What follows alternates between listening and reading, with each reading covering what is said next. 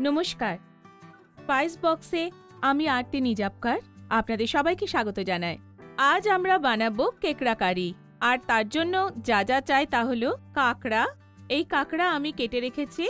আর এটা কাঁকড়ার রস। কাঁকড়ার যে পা আছে, সেগুলোকে ছোট করে কেটে রস করেছি। কাটা পেঁয়াজ, কাঁচা নারকেল, আদা রসুন, টমেটো, মৌরি, জিরে, গরম মশলা, লঙ্কা গুঁড়ো, হলুদ মালওয়ানি মশলা, জিরে পাউডার ধনে পাউডার কাটা ধনে পাতা, কারি পাতা, নুন, তেল এবং প্রয়োজন অনুসারে জল।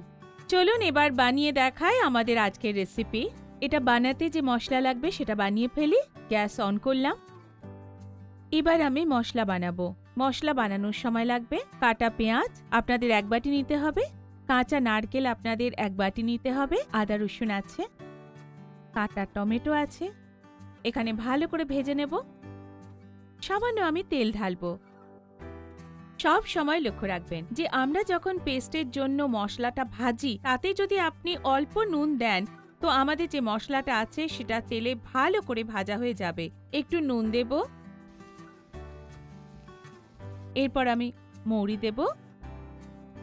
জিরে হাফ চামচ। আমাদের মশলা খুব ভালো ভাজা হচ্ছে। আপনাদের পুরো ব্রাউন হওয়া পর্যন্ত ভাজতে হবে। মশলা ভাজা হয়ে গেছে। কিছুক্ষণ ঠান্ডা হতে দেব। চলুন, এখন আমাদের মশলা ভালো করে ঠান্ডাও হয়ে গেছে। এবার মশলাটা ভালো করে বেটে নেব। অর্ধেকটা মশলা আমি মিক্সারে পেস্ট করব। অল্প জল লাগবে। জল আপনাদের দরকার অনুযায়ী দেবেন। আমাদের ভাজা মশলা ভালো করে বাটা হয়ে গেছে। এখন আমি বানাবো কারি। তেল নেব আমি। তেল আপনি কম দিতে পারেন। তেল ভালো করে গরম করে নেব। আমাদের তেল ভালো করে গরম হয়ে গেছে। ফোড়নের জন্য আমি কারি পাতা দেব। এখন ভাজতে হবে সেই মশলাটা যেটা আমি পেস্ট বানিয়েছি। স্বাদ অনুযায়ী নুন নিলাম। হলুদ। এখন এই মশলাটা ভালো করে ভেজে নিতে হবে। এখন মশলাটা সামান্য ভাপে রাখব। মশলাটা তেলে ভালো ভাজা হচ্ছে। এবার গ্যাসটা স্লো করে মশলা অ্যাড করব। জিরে গুঁড়ো, ধনে গুঁড়ো, গরম মশলা, লঙ্কা গুঁড়ো, মালবনি মশলা, কাটা ধনে পাতা দেব। এবার আমি কিছুক্ষণের জন্য ঢাকা দিয়ে ভাপে রাখব। সব মশলাগুলো ভালো করে ভাজা হয়ে গেছে, চলুন দেখি।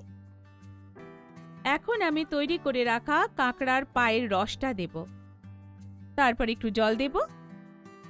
পাঁচ থেকে দশ মিনিট জলটা ফুটতে দেব।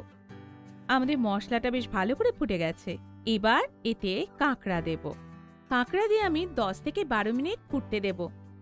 আমাদের স্লো গ্যাসে কাঁকড়া সেদ্ধ করতে হবে। চলুন এবার দেখি আমাদের কাঁকড়া সেদ্ধ হয়েছে কিনা। দেখতে পাচ্ছি ভালোই সেদ্ধ হয়ে গেছে কাঁকড়া। গ্যাস অফ করে এবার আমি এই কাঁকড়া কারি খুব ভালো করে সাজিয়ে ফেলি। ধনে পাতা দিয়ে গার্নিশ করলাম। কারি পাতাও দিলাম। তৈরি হয়ে গেছে আমাদের খেকড়া কারি। এটা আপনারা চাপাটি বা ভাকরে বা ভাত দিয়ে খেতে পারেন